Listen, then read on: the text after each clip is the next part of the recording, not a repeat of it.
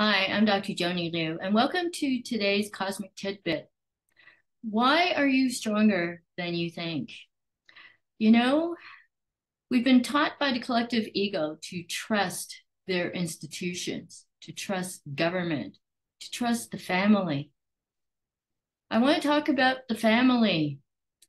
The family is a great tradition, but how is it that the very people who who should be supporting us are the last ones to be doing so, and in fact are inflicting a lot of pain.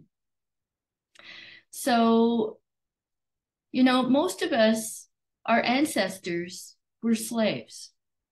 They were indentured slaves, you know, they were under feudal lords, you know, definitely they didn't have a whole lot of freedom. But inside these institutions and within these families, I mean, people experienced not just slavery, but rape, incest.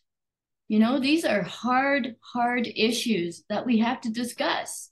And these things are carried down into our DNA. But the good news is, is that since you are here today, your ancestors actually survived some pretty bad stuff, really bad stuff.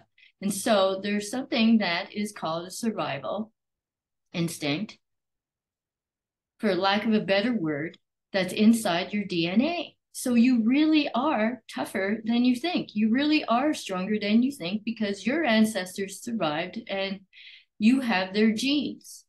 Now, unfortunately, the other thing is is that you also probably inherited their attitudes about these things. And that's why we have victimhood. Okay. So that's today's cosmic tidbit, but I'm going to be addressing these very serious issues along the way. Talk to you later. Bye.